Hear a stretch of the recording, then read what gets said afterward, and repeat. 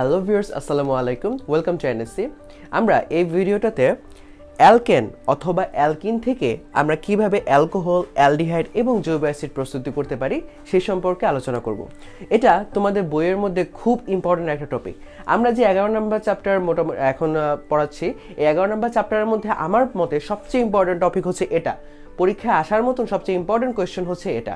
এই অ্যালকেন বা অ্যালকেন থেকে আমরা কীভাবে এই জিনিসগুলো উৎপন্ন করতে পারি? তো এটা অবশ্যই তোমরা ভালো করে পড়বা, কিন্তু আমাদের বইয়ের মধ্যে যে প্রবলেমটা এটা তোমাদের বইয়ের মধ্যে আসা হচ্ছে eleven point five point four, এই আর্টিকেলটাতে আছে। কিন্তু এখানে আমাদের কোনো বিক্রিয়াগুলা তারা লিখে দেয় নাই। জাস্ট বাংলা আকারে এইভাবে বলে দিছে, কিন্তু বিক্রিয়া হিসেবে জিনিসটাকে লিখে দেয় নাই। তো আমরা এখন চলো এই জিনিসটাকে বিক্রিয়া হিসেবে কীভাবে লিখতে পারি, সেটা নিয়ে আলোচনা করি। তো ফার্স্টেই তুমি একটা অ্যালকেন এবং একটা অ্যালকিন বেস হিসেবে ধরে নাও। ধরলাম, আমরা এখানে দুই কার্বন বিশিষ্ট ইথেন নিলাম এবং দুই কার্বন বিশিষ্ট ইথিন নিলাম।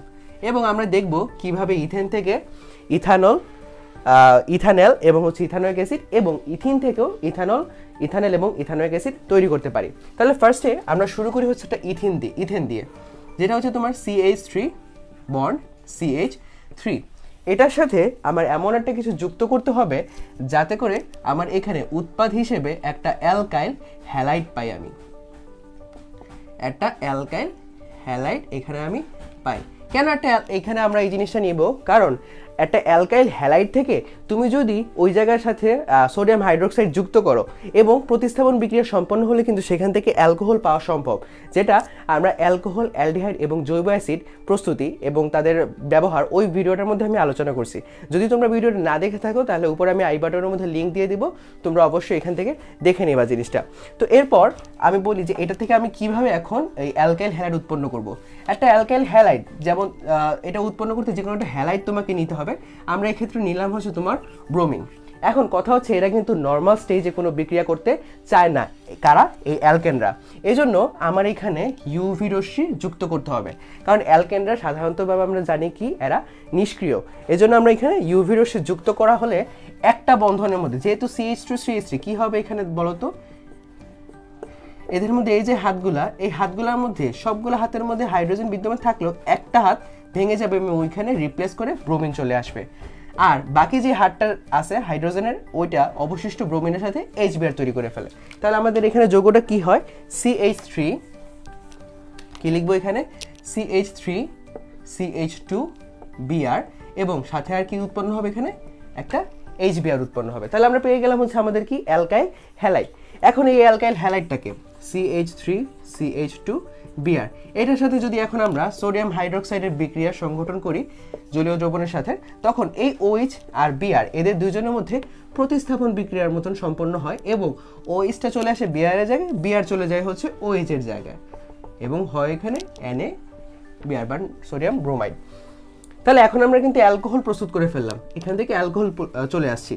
এখন এই যে অ্যালকোহলটা CH three CH two OH এটার যদি আমরা জারণ বিক্রিয়া সম্পন্ন ঘটাই, শক্তিশালী জারক K two CR two O seven এবং এইচ টু এর উপস্থিতিতে, তখন এই যৌগটা থেকে জলীয় অংশ চলে আসে। এই যে এইচ টুওটা এই এইচ টু অংশটা যেহেতু এইচ টু এসোফোর নিরোধক একটা উপস্থিত থাকে এখা- এখানে, সেক্ষেত্রে এই এইচ টুওটা চলে আসে।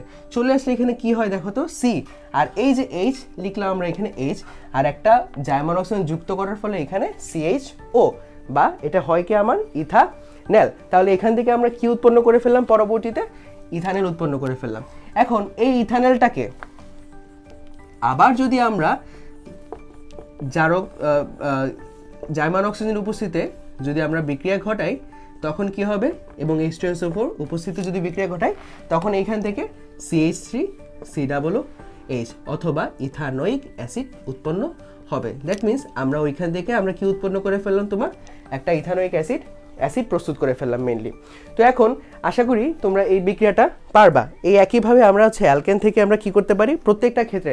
এটা যেহেতু ইথেন দিতেছে সেম বিক্রিয়াটা ইথেনের জায়গায় ইথিনও দিবে, ইয়া, তারপর হচ্ছে প্রোপেন দিবে বিউটেন দিবে, সবাই কিন্তু এই বিক্রিয়াগুলো সেমই দিবে। তাহলে এখন এই যে যেটা হলো আমরা অ্যালকেন থেকে করলাম, এই জিনিসটা আমরা একটু অ্যালকিন থেকে করে দেখি। আমি বাকি বিক্রিয়াগুলো মুছবো না, কারণ বাকি বিক্রিয়াগুলো সেম একইভাবে।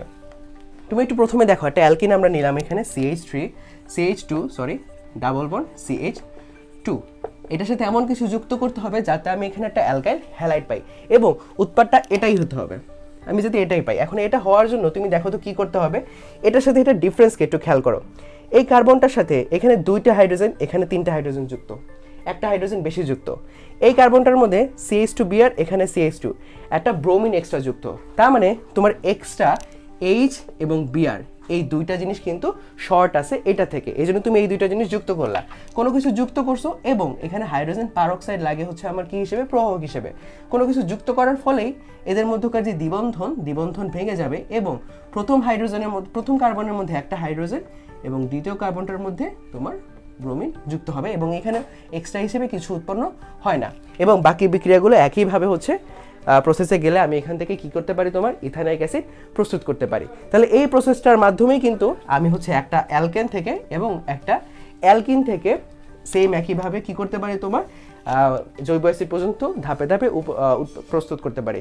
মনে রাখবা একটা অ্যালকোহলকে যদি আমরা জারণ বিক্রিয়া করি, তখন অ্যালডিহাইড উৎপন্ন হয় এবং অ্যালডিহাইডকে জারণ করলে হচ্ছে আমার কি উৎপন্ন হয়? জৈব অ্যাসিড উৎপন্ন হয় এবং ঠিক অপোজিটটা মানে এটাকে বিজারণ করলে আবার অ্যালডিহাইড উৎপন্ন হবে এবং এটাকে বিজারণ করলে আবার হচ্ছে আমার অ্যালকোহল উৎপন্ন হবে। তো আশা করি এই টপিকটা তোমরা বুঝতে পারছ এবং এই বিক্রিয়াগুলো অবশ্যই তোমাদের খাতায় লিখে নিবা অথবা বইয়ের মধ্যে এক্সট্রা একটা পেজের মধ্যে লিখে সেটা স্টেপলার করে রাখবা বইয়ের মধ্যে, কারণ এটা কিন্তু খুব বেশি আসে কোয়েশ্চেনের মধ্যে এবং এই বিক্রিয়াগুলো তোমার বইয়ের মধ্যে দেওয়া নাই। লিখা আছে, কিন্তু বিক্রিয়া হিসেবে জিনিসটাকে লিখে নাই। সো আশা করি তোমরা ভিডিওটা বুঝতে পারছ। যদি কোনো সমস্যা হয় এটা বুঝতে, তাহলে অবশ্যই আমাকে ভিডিওর নিচে কমেন্ট করে জানাবা। Thank you